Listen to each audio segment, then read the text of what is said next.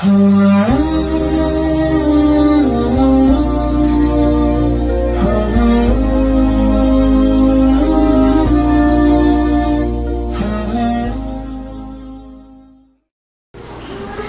Ibu yang dimuliakan Allah Subhanahu wa taala, uh, di sini untuk penjelasan ucapan sahabat Ali bin Abi Thalib ini kami cukupkan sampai sekian.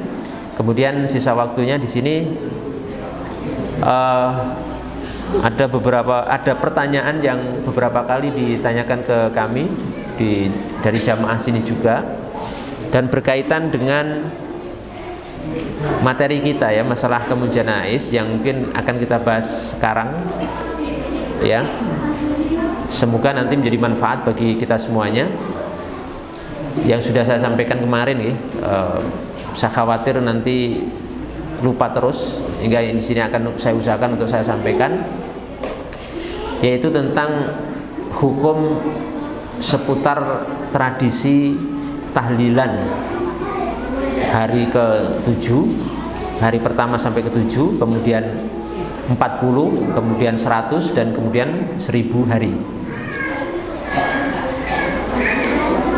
sebelumnya atau sebelum saya menjelaskan masalah ini perlu untuk diketahui ini pembahasan murni ilmiah. Jadi nggak ada hubungannya Ustadz membela pendapat ini atau tidak membela pendapat itu. Nggak ada hubungannya. Juga tidak ada hubungannya dengan ormas NU wala Muhammadiyah. Karena saya bukan NU dan juga bukan Muhammadiyah. Dan saya tidak pernah disogok oleh siapa pun dibayar siapa pun untuk membela pendapat ini atau itu. Nggak ada. Murni pembahasan ilmiah yang karena sering ditanyakan dan belum sempat saya menjawabnya tidak hanya di sini maka di sini saya akan mengupas masalah ini murni pembahasan ilmiah Bapak Ibu yang dimuliakan Allah Subhanahu wa taala. Uh, sebelum saya mulai pembahasan ini perlu diketahui bahwa pembahasan masalah hukum tahlilan atau yasinan uh, hari 7, hari ke-7, 40, 100 dan 1000 hari niku. Niki pembahasan masalah niki adalah murni pembahasan masalah fikih. Pembahasan fikih bukan masalah akidah, tapi pembahasan fikih. Jadi kalau masalah akidah niku kan nanti konsekuensinya antara iman kali kafir, iman dan kufur. Ndak, tapi pembahasan masalah tahlilan niku masalah fikih. Fikih niku masalah pembahasan di sini masalah khilafiyah furu'iyah. Pembahasan masalah fikih yang memang ada perbedaan pendapat ulama di dalamnya. Dan masalah tahlilan itu bukan masalah usuluddin, bukan masalah pokok agama, cuma masalah nopo furuk, masalah cabang agama. Artinya masalah ini masalah sepele, ringan, sederhana. Jadi ampun dibesar-besarkan seolah-olah niki masalah mengerikan banget Seolah-olah masalah yang waduh ini sudah habis ini, sudah tamat ini kalau bahas masalah ini. Enggak, Pak. Itu masalah fikih, sudah masalah fikih, masalah cabang dan masalah perbedaan pendapat. Sejak zaman dulu sudah ada perbedaan pendapat di kalangan ulama tentang hukum masalah nih niki. Jadi karena masalah ini masalah sederhana, masalah ringan, masalah yang uh, apa istilahnya itu masalah yang tidak berkaitan dengan akidah dan pokok agama, maka saya menyampaikan pembahasan ini juga rileks, santai, dan makanya masih senyum-senyum seperti ini. Karena ini ringan masalahnya tidak se horor yang dipahami oleh sebagian orang enggak coba kalau para dai itu menyampaikan masalah ini sambil senyum-senyum seperti ini kan enak gitu? Enak betul? Enak. Nah tahlilan niku dari kata halala yuhallilu tahlilan. Artosipun makna aslinya niku adalah membaca kalimat la ilaha illallah. La ilaha illallah ini orang yang mengucapkan la ilaha illallah perbuatannya namanya tahlilan. Dari halala yuhallilu napa? Tahlilan. Makanya enten tahlilan itu enten kalimat napa? La ilaha illallah. Kan ngoten. Maka namanya napa? tahlilan. Nah, kemudian pengertian tahlilan ini meluas dipakai untuk menggambarkan kegiatan atau acara kumpul bersama beristima di mana dalam perkumpulan atau pertemuan itu membaca sebagian Quran biasanya surah Yasin ataupun nanti ada potongan-potongan ayat lain seperti ayat kursi seperti awakhir akhir surah Al-Baqarah seperti awal surah Al-Baqarah seperti kulhu yang tiga kulhu wallahu ahad kul a'udzu birabbinas dan kul a'udzu birabbil falak kemudian membaca doa-doa kemudian membaca zikir-zikir ya tahmid tahlil tasbih takbir. Kemudian di situ ada lantunan solawat yang bacaan ini kemudian dihadiahkan kepada mayit yang di situ memang dituju di acara tersebut. Dan biasanya ada acara sodakoh maka apa sodakoh maka makanan kok. Mang lanjut ke sodakoh ma makanan.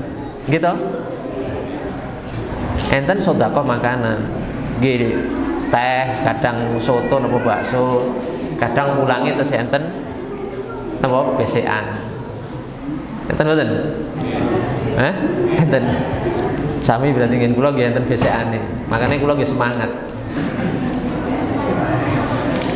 Intinya kan niku kan, intinya niku. Lah, sekarang enten per, pertama nggih. Intine di acara tahlilan niku ada pembacaan ayat suci Al-Qur'an surah Yasin biasanya yang dihadiahkan kepada orang yang sudah wafat. Dalile nopo? perbuatan niki apa ada dalilnya wonten Pak wong para ulama niku mboten masa mboten enten dalile dalilnya adalah hadis dalam Sunan Abu Dawud. Nabi Shallallahu Alaihi Wasallam sabda Ikra'u Yasin ala mautakum. Bacakan surat Yasin kepada orang yang meninggal di antara kalian. Nah perhatian nggih Memperhatikan? Adik-adiknya menggejek memperhatikan ya masa ini pembahasan agak serius. Mungkin khawatir jamaah mboten Pak perhatikan hadisnya nggih. Ikra'u ala au ikra'u yasin ala mautakum. Bacakan surat yasin kepada orang yang meninggal di antara kalian. Perhatikan nggih. Kalimat orang yang meninggal di antara kalian itu enten dua makna. Perhatikan ya pertama orang yang sudah meninggal. Nomor kalih orang yang akan meninggal. Jadi hadis niki bisa diterapkan di dua kondisi pak orang yang akan meninggal pun mendekati sakaratul maut niku sudah terengah-engah pengen meninggal ruh pengen keluar dari jasad niku dianjurkan dibacakan surat ya yasin. Jadi nek enten wong sekarat niku mang ke surat ya yasin. Nomor kali orang yang telah meninggal. Orang yang telah meninggal. Niku juga masuk dalam kandungan hadis ini disebutkan Imam Al-Qurtubi rahimallahu taala beliau menukul dari Al-Imam Suyuti dari kitab Syarhu As-Sudur. Disebutkan ya ten?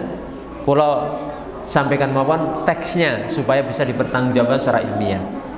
Beliau mengatakan hada yuhtamalu an takuna hadhil qiraah indal mayyiti fi hali hayatihi wa yuhtamalu an takuna inda qabrihi. Kadza dzakarahu as-suyuti fi syarhi as-sudur artine hadis mau ikra'u ala au ikra'u yasin ala mautakum bacakan surat yasin kepada orang yang sudah yang meninggal di antara kalian itu mengandung dua kemungkinan makna pertama orang yang masih hidup dan akan mati nomor kali orang yang sudah mati ya sudah mati di sisi kubur mereka. Pernyataan ini disebutkan oleh Imam Musyuti dalam kitab Sarhu As-Sudur. Ini dalil pertama untuk mereka yang mengamalkan Yasin. Jadi intinya kan niku nopo? Maca surat Yasin pahalane diniatkan untuk yang meninggal. Dan pun kula sampaikan di pertemuan sebelumnya bahwa menghadiahkan pahala bacaan Quran itu sampai menurut jumhur mayoritas hampir semua ulama.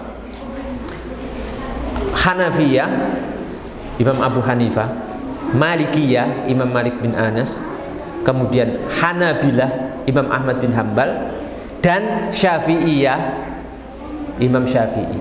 Cuma ngeten, Imam nek Imam sing tiga niki uh, Abu Hanifah, Malik bin Anas kali Imam Ahmad bin Hambal niku metodenya ngeten. Ketika kita akan membaca Quran, misalnya surah Yasin nggih, niku langsung diniatkan. Saya niatkan bacaan ini pahalanya untuk si fulan yang sudah mati, siapa? Yang meninggal. Misalnya bapak pulau atau ibu pulau jenengan diniatkan untuk beliau sebut namanya. Langsung dari awal. Ngaten. Terus baru baca Bismillahirrahmanirrahim Yasin sampai akhir. Kalau metodenya Imam Syafi'i baca dulu pak, ampun diniatkan dulu, mau sik. A'udzubillahiminasyaitonirrajim Bismillahirrahmanirrahim Yasin sampai akhir. Moco pun selesai. Setelah selesai baru berdoa. Jadi metodenya pakai doa. Ya Allah, terimalah pahala baca, terimalah bacaan Quran saya ini dan sampaikan hadiah atau sampaikan pahala bacaan saya ini untuk si mayit disebut namanya sopo si mayit yang sudah meninggal sebut namanya lah saya sengaja ngecek tadi ya. Eh, bukan tadi beberapa waktu yang lalu saya ngecek buku tahlil yang beredar di pasaran dan dipakai masyarakat niku. Itu sudah sesuai dengan madhab Imam Syafi'i. Karena niku enten doanya kemudian saya baca doanya itu uh, Allahumma taqabbal. Ya Allahumma taqabbal uh, hadhil qiraah wa ausil. Gitu ya ya Allah terimalah bacaan Quran ini dan sampaikan kepada pahalanya kepada si mayit berarti menurut empat madhab menghadiahkan pahala bacaan itu sampai Sam, sampai Bukan hanya empat madhab Syekh Ibnu Taimiyah menyatakan sampai dalam majmuk fatwa. Ibnul Qayyim juga menyatakan sampai dalam kitabnya Ar-Ruh. Dan ulama-ulama Saudi juga menyatakan sam sampai. Berarti dari sisi membaca surat Yasin di acara itu tidak ada masalah. Karena jelas ada dalilnya nomor karih nopo pahalanya sampai menurut hampir semua ulama. Sampai beriki paham betul? Paham betul? Paham ya? ya. Terus enten acara tahlilan niku ada nopo doa. Doa-doa. Doa-doa niku sepakat juga sampai. Menurut Imam Nawawi doa pulau panjenengan yang masih hidup niki untuk orang yang sudah meninggal itu sampai dan bermanfaat. Makanya Bapak Ibu sekalian yang punya orang tua pun wafat pun meninggal ampun dilupakan monggo didoakan dengan ampunan.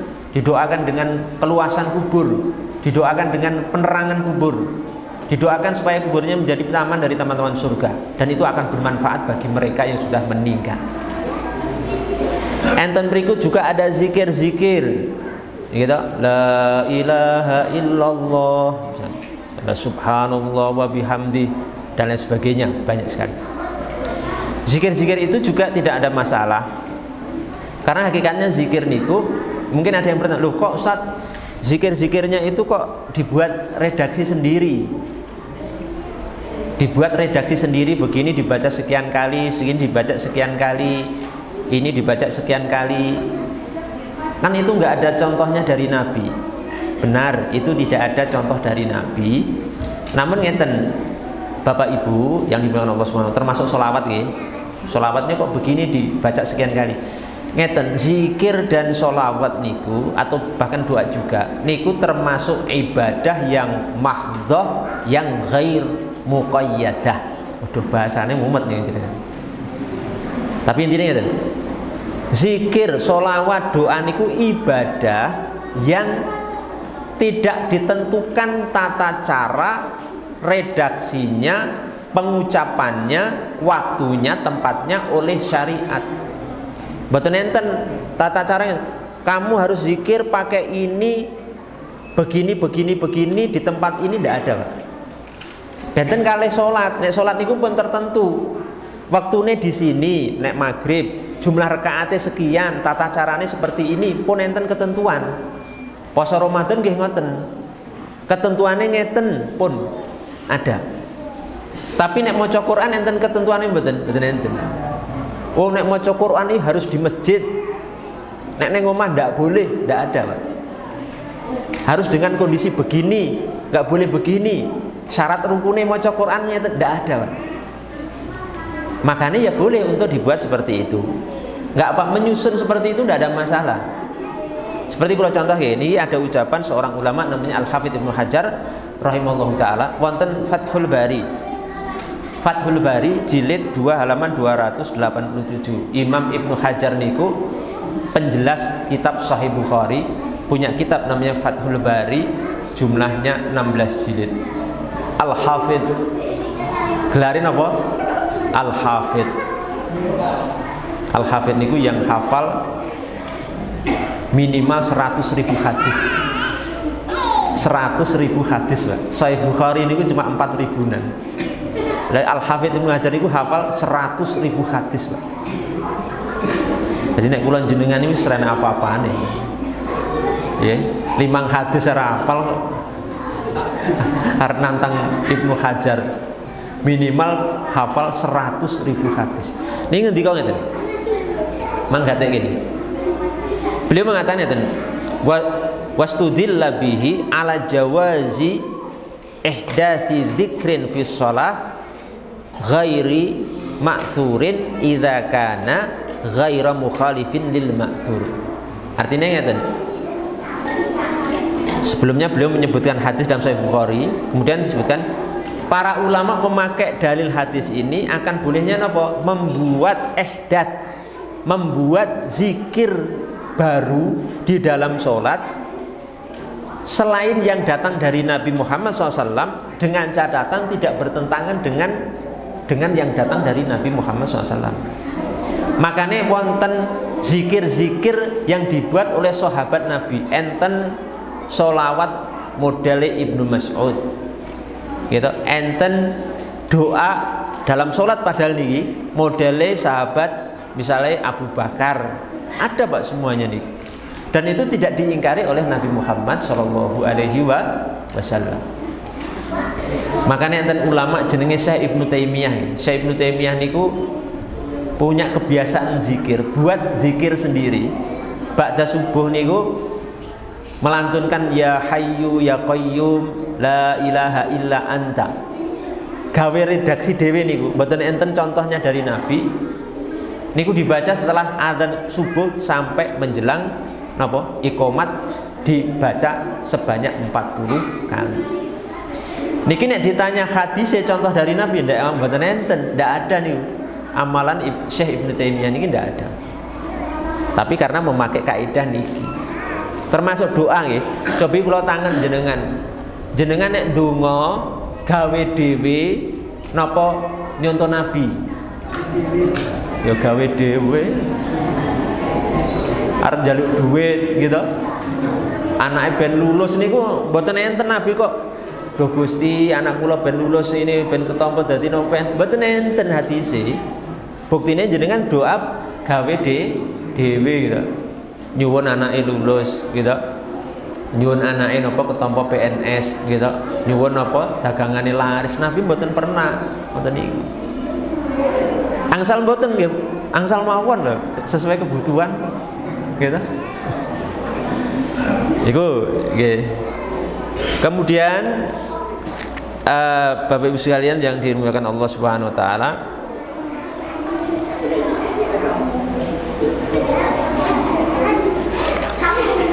tadi doa pun nggih uh, baca Yasin. Loh kok Yasin Ustaz? Kok Yasin? Nek misalnya mboten Yasin boleh tidak? Boleh. Loh gampang loh. Tapi biasanya Yasin karena memang ada hadis yang cukup uh, napa? membuat semangat orang untuk mengunggulkan surah Yasin seperti misalnya yang hadis yang kemarin pun kulo baca di sini sebuah hadis Nabi Muhammad Shallallahu Alaihi Wasallam bersabda man zara qabrai walidayhi au ahadahuma fi kulli jum'atin marratan faqara indahu yasin ghufira lahu bi adadi uh, bi adadi kulli harfin minha. Riwayat Ibnu Adi dan selainnya Barang siapa yang menjarai kubur kedua orang tuanya atau salah satunya di setiap hari Jumat sekali, kemudian dia membaca surat Yasin di sisi kubur orang tuanya itu, maka orang tuanya itu akan diampuni dosa-dosanya sesuai jumlah huruf yang dibaca dari surat Yasin. Itu. Wah, ini hurufnya kata nih. Yasin itu hurufnya banyak, Pak. Banyak banget nih hurufnya loh senes kalimat senes kata tapi huruf. Niku. Memang enten ke keunggulan surah yasin atas yang lain.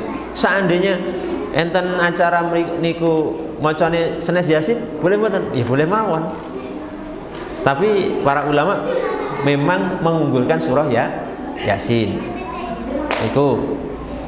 Ini untuk kenapa kok yasin? Terus ngeten loh Ustaz kenapa kok harus hari kepinten?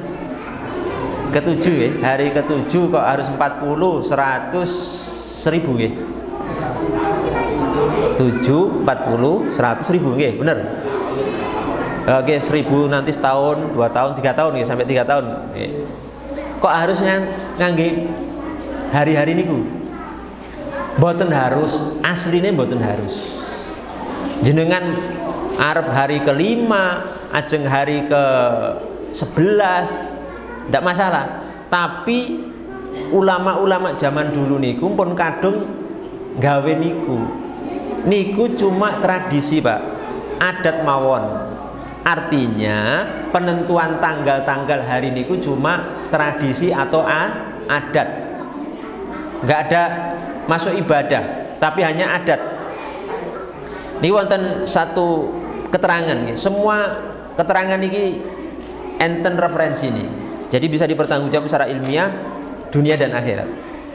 Jadi menurut keterangan Syekh Nawawi Banten Al-Bantani dalam Nihayatul Zain halaman 271 ya. Ini disebutkan bahwa beliau mengatakan ngeten intine wa taqyidu ba'dil ayyami minal awaid. Jadi penentuan hari-hari kenapa kok hari 3 hari 7, hari 40, 100 ribu sampai 3 tahun niku hanya nopo sifatipun tradisi atau adat sejak zaman dulu nggih pun ngoten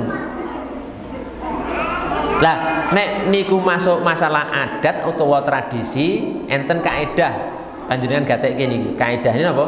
Al aslu fil adati al ibaha. Asal hukum adat tradisi niku bo boleh. Ndak haram.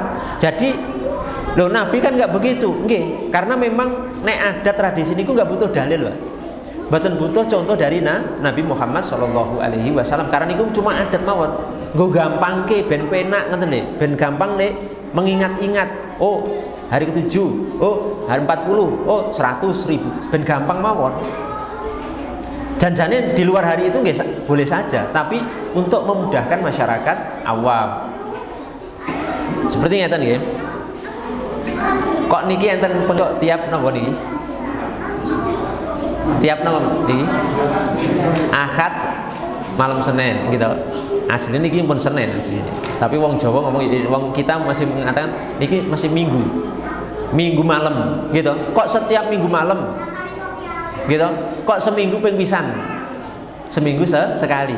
Nopo enten perbuatan Nabi hadise ngeten iki ndak ada. Nabi buatan enten pengajian akad malam ini buatan enten. Tidak ada pak.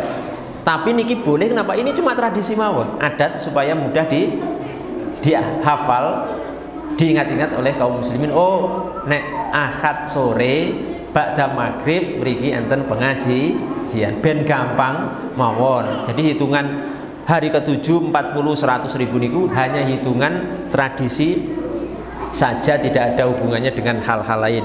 Ini bisa dicek Pak di Nihayatul Zain. Beliau menukil hal ini dari guru eh, dari seorang ulama namanya Sayyid Ahmad Dahlan rahimahullah taala rahmatan wasi'ah. Itu masalah Kenapa kok hari ketujuh? Lah terus bang, oh, lah Ustadz itu kan kayak orang Hindu katanya. 7, 40, 100 ribu ini kan tradisi Hindu. Ya tidak peduli pak. Artinya sesuatu yang hukumnya boleh, kok kebetulan mencocoki agama lain itu nggak mempengaruhi hukum itu jadi berubah, mboten. Seperti ngeten. Hukum cukur gundul niku napa? Hukum cukur gundul Hukumnya apa? Boleh, gitu. Boleh. Boleh. Lah, sebenarnya hukum cukur gundul niku boleh menurut para ulama, sebenarnya tapi napa? Mencocoki kebiasaan apa? Orang non muslim, orang-orang Hindu, Buddha, para biksu yang gundul. Gundulan tadi niku.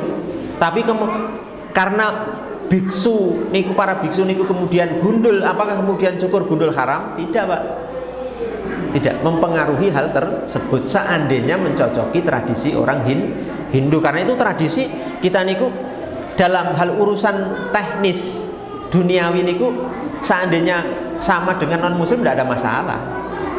Saat ini non muslim pakai jas. Gitu. Jenengan pakai jas angsal betul boleh. Padahal wong kafir gitu nganggu jas. Maksudnya seperti itu. Dan bapak ibu sekalian di acara tahlilan itu juga ada uh, acara makan-makan gitu itam nah, ini yang paling menarik. Dan acara apa? Makan-makan. Ya enten suguhan teh enten snack enten nanti makan besar gitu sok bakso sok soto dan sebagainya. Mulai jik nawa gawa kresek kresekan. Niku namanya napa? Sodako sedekah makanan. Sodako makanan niku juga diperbolehkan. Wong sodako masa betul angsal? Sodako makanan dari sohibul hajat utawi ahli waris dari nopo orang yang meninggal. Itu silahkan saja karena kan wong sodako masa ajeng dilarang. Asal panjenengan perhatian asal tidak memberatkan dan tidak terjadi takalluf. Takal, takalluf itu memberat-beratkan diri. Nek mampu monggo nek boten mampu nggih boten sah. Ngoten lho. Nek mampu monggo ajeng nyedekai medangi ngasih makan ngasih besekan monggo. Nek mampu silahkan. Tapi kalau kita tidak mampu ya tidak perlu memberat-beratkan di diri. Penak tadi gue gambil betul gambil Nona ustad ustad misalnya utang bagaimana nih gue? Nah, nek panjenengan utang dan mampu mengembalikan bisa kemungkinan besar bisa mengembalikan ya tidak masalah. Lah, sebagian ulama yang memakruhkan makan-makan di tempat orang yang baru saja kematian niku Perhatian cuma memakruhkan itu sifatnya kondisional dan situasional, Pak. Sebagaimana dalam kitab I'anatul Talibin niku yang yang dimakruhkan adalah ketika pemilik rumah sohibul hajatnya niku keberatan tidak mampu naming nopo memberat-beratkan diri memaksa diri untuk memberi makan kepada orang yang hadir sementara dia tidak mam mampu Maten niku yang dimakruhkan itu pun cuma dimakruhkan tidak sampai ha haram. Niki di kitab Nihayatul halaman 371 disebutkan oleh Syekh Nawawi rahimallahu taala wa tasadduqu anil mayyiti biwajhin syar'iyyin matlubun wa la yataqayyadu bi kaunihi fi sab'ati ayyam au aktsar au aqall. Ya intinya sedekah untuk di atas namakan mayit niku kan sedekah di atas namakan apa? Mayit pahalane untuk si mayit niku merupakan sesuatu yang disyariatkan dianjurkan dituntut dalam syariat Islam Walaupun benar tidak terbatas untuk hari ke-7, 40, 100 ribu mboten. Sedekah niku kapan mawon boleh. Tapi mau nggih sudah saya terangkan hitungan niku ben gampang mawon. Niku teknis saja, Pak. Teknis seperti misalnya enten pengajian tiga hari tiga malam. Kok dadak tiga hari tiga malam? Daurah sehari semalam. Lah nek mboten enten hadis nggih niku. Sami seperti ini cuma teknis supaya gam, gampang saja tidak ada urusannya dengan contoh dari Nabi napa da, dalil lah enten seorang ulama gitu, ulama salaf namanya Taus bin Kaisan berarti kan gitu, Tawus bin Kaisan niku dari generasi tabiin bahkan kibaru tabiin. Tabiin niku muridnya sahabat, Pak. Berarti generasi salaf. Namanya sinten Tawus bin Kaisan. Panjenengan mirengke niki. Tawus bin Kaisan pernah mengatakan ngeten. Innal mauta yuftananu yuftanuna fi kuburihim sab'an fakanu yustahabbu eh, fakanu yastahibbuna ayut anhum tilkal ayyam Artinya ulama namanya Tawus bin Kaisan, muridnya sahabat tabi ini.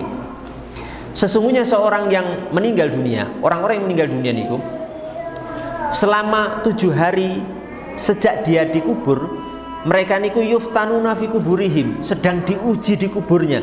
Jadi misalnya hari ini dikubur, hari Minggu nih, hari Minggu nanti tujuh hari setelahnya, Minggu, Senin, Selasa, Rabu, Kamis, Jumat, Sabtu, tujuh hari niki Orang yang meninggal niku di kuburnya baru difitnah pak, menghadapi peristiwa yang sangat mengerikan sekali. Diuji oleh Allah Subhanahu Wa Taala, didatangi malaikat mungkar dan nangkir, mengerikan sekali. Kata sinten ulama Taus bin Kaisan. Fakanu maka para ulama di zaman beliau yastahibun menganjurkan untuk ahli warisnya niku napa? Sedekah makanan atas nama si mayit. Di hari-hari itu hari pertama sampai hari ketujuh. Supaya apa pahalanya mengalir untuk ahli mayit ahli kubur yang sedang diuji tadi sehingga bisa diringankan dan dilancarkan urusan urusannya Niki yang menyampaikan bukan saya tapi Imam Taus bin Kaisan niku salaf generasi salaf muridnya para sahabat radhiyallahu taala. Bahkan Taus bin Kaisan niku termasuk senior generasi tabi'in senior generasi tabi'in nah yang lebih ideal kita yang tidak tertimpa musibah kematian atau kita yang sebagai tetangga dari orang yang meninggal dunia niku idealnya dianjurkan oleh syariat kita mem, me, mengirimkan makanan kepada mereka jadi misalnya enten tetangga kita yang meninggal gitu, kita selaku tetangga niki monggo napa berusaha untuk mengirimkan makanan kepada beliau. Bisa makanan yang siap makan, siap saji, napa napa? Mungkin beras dan lain sebagainya, gula teh dan lain sebagainya kita kirim kepada beliau. Untuk apa? Karena untuk meringankan karena orang yang baru keseripahan bahasa kita kematian itu kan sedih ya belum bisa normal ngoten Jadi kita bantu yuk kirim makanan mateng, yuk kita bantu kirim ini, kirim ini, yuk kita bantu napa kirim beras, minyak goreng, napa gula teh dan lain sebagainya. Ini sesuai dengan hadis dalam riwayat Abu Dawud Nabi Muhammad SAW bersabda Isna'u li ali Ja'farin to'aman faqad ja'ahum mayusgiluhum Hei para sahabatku kata Nabi buatlah makanan untuk keluarga Ja'far. Karena beliau ini sedang ditempa sesuatu yang menyibukkan beliau yaitu kematian salah satu anggota keluarganya. Jadi sunai kula panjenengan ngirim makanan. Enten mriki pripun ngirim napa? Beras napa beras. Gula teh enten mboten beras gula teh minyak goreng roti sami berarti. Tempat saya nggih ngoten gula teh beras minyak goreng dan sebagainya. Dan ini sudah berlangsung berarti apa yang dilakukan masyarakat kita nggih pun benar bagus jadi di satu sisi orang yang uh, keseripahan tadi kematian itu berusaha untuk sodakoh juga atas nama mayit dengan mengamalkan ucapan Imam Taus bin Kaisan di sisi lain kita membantu Pak membantu beliau-beliau yang tertimpa musibah. Kemudian ada tambahan satu lagi aja khusus biar selesai sekalian gih, karena tanggung. Um, dalam hal kenapa menentukan tadi juga gih, uh, 7 hari 40 100 ribu kemudian kenapa harus menentukan ini surat ini dan lain sebagainya niku dalilnya adalah sebuah hadis bahwa Nabi Muhammad Shallallahu Alaihi Wasallam niku setiap hari Sabtu niku pergi ke Masjid Kuba yang pernah umrah atau beda haji mau tahu nggih Masjid Kuba beliau ini tiap Sabtu meriku datang ke Masjid Kuba kemudian sholat dua rakaat di dalam Masjid Kuba itu. Hadisnya wonten Sahih Bukhari Muslim. Lah dari hadis niki Ibnu Hajar rahimallahu taala menyatakan bahwa hadis ini sebagai dalil akan bolehnya taksisu atau taksisi ba'dil ayyam untuk mengkhususkan sebagian hari-hari bibadil amali solihah dengan sebagian amal-amal soleh wal mudawama ala dalika dan continue terus di atas hal tersebut. Jadi misalnya mengkhususkan kok hari itu nggak betul nopo-nopo karena dalilnya enten dalilnya. Hadisnya nggak sahih dalam Sahih Bukhari mus, Muslim. Dan ucapan Al Hafidh Ibnu Hajar tadi juga ada dalam Fathul Bari jilid 3 halaman 69. Jadi betul nopo-nopo hal seperti itu tidak masalah. Oleh karena itu Bapak Ibu yang dimuliakan Allah Subhanahu wa taala uh, kurang lebih pembahasannya itu dan sebagai penutup di sini perlu saya sampaikan bahwa intinet tahlilan niku masalah yang diperselisihkan. Beda pendapat enten sing mengamalkan ada yang tidak. Bagi yang mengamalkan dipersilahkan karena sudah saya sebutkan tadi dalil dan argumentasi ulamanya bagi yang tidak mengamalkan juga tidak apa-apa karena memang tahlilan itu tidak wajib tidak ada ulama yang mengatakan tahlilan wajib. Betul enten. Jadi yang mau tahlil silahkan. Gitu yang tidak tahlil juga silahkan. Sing penting apa rukun. Sing penting rukun. Sing penting saling menghormati. Sing penting saling mensupport saling menghargai tidak boleh masalah tahlilan dijadikan sebab alasan untuk saling bermusuhan apalagi maaf ya saling menyesat menyesatkan. Tidak boleh pak. Ulama-ulama zaman dulu pun berbeda pendapat. Jadi misalnya oh, Ustaz pulang mboten tahlilan. Monggo mawon tidak ada masalah. Sing tahlilan tidak boleh menyesatkan sing mboten tahlilan ning sing mboten tahlilan juga tidak boleh menyesatkan yang tahlilan. Penak mboten niku penak mboten? Monggo nanti itu sebagai sesuatu yang kita jadikan perbedaan yang membawa rahmat. Karena nanti hadis ikhtilafu ummatir rahmah. Perbedaan umatku itu adalah rahmat. Kita ini punya usul yang sama rukun iman yang sama rukun iman Islam yang juga sama.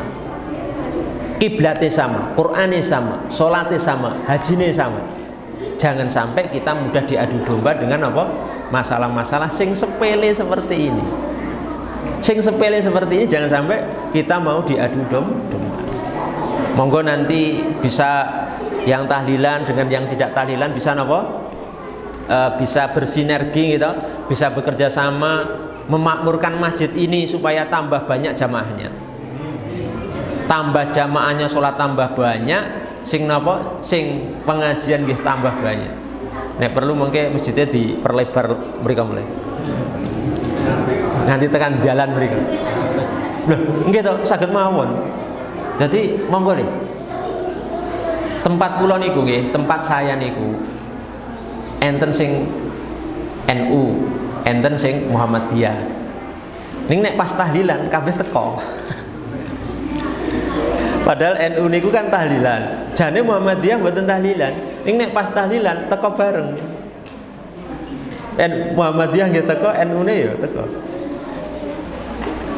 Nggih mboten pernah congkrang kula niku. Masya Allah jadi memang perlu ada kebijakan yang baik kita harus dewasa dalam menyikapi hal seperti ini masalah khilafiyah istiadiyah. Dan saya ingatkan ya sudah saya sebutkan tadi saya bukan NU wah Ustadz kok kayaknya membela pendapat tahlilan. Ustadz, Ustadz NU buatan Pak? Pulau Senes NU Pulau Senes Muhammadiyah ya Pulau Muslim. Pembahasan ini murni ilmiah Pak. Bukan enten niat-niat sesuatu yang lain makanya kalau menyampaikan pembahasan ini sambil guyang-guyu mawon. Masalah ringan kok. Dan nek masalah itu dibahas kalau meledak-ledak mata melotot-lotot udah jamaah bubar ini. Santai mawon. Jenengan betul tahlilan? Tidak masalah. Nggak usah. Ya itu ya jadi mohon ini masalah ringan masalah furuk masalah khilafiyah istihadiyah monggo saling menghormati saling menghargai. Semoga apa yang nantinya ini menjadi ilmu bagi kita semuanya itu nantinya bisa menjadi sebuah wawasan dan kita akan semakin dewasa menghadapi hal-hal seperti ini. Dan pembahasan ini semuanya pembahasan ilmiah yang bisa dipertanggungjawabkan dunia akhirat bisa dilacak sumber-sumbernya dan lain sebagainya. Oleh karena itu monggo sing tahlilan terus silahkan silahkan saja. Yang tidak tahlilan hormati yang tahlilan. Pokoknya saling menghormati saling menghargai. Kalau ustadz sendiri pripun? Oh, saya nek diundang ya hadir. Kalian guyang-guyu mawon bahasa ngoten kok sepanen Lain saya pade saya bulik saya mertua saya meninggal di tahlili musuh saya ngelungani kan ya mengerikan sekali membuat fitnah Pak. Nanti kacau membuat geger. Wong tuane tahlili ditinggal lungo kalau anaknya naudzubillah kita perlu mengalah Pak. Baik jenengan buatan berpendapat ngoten.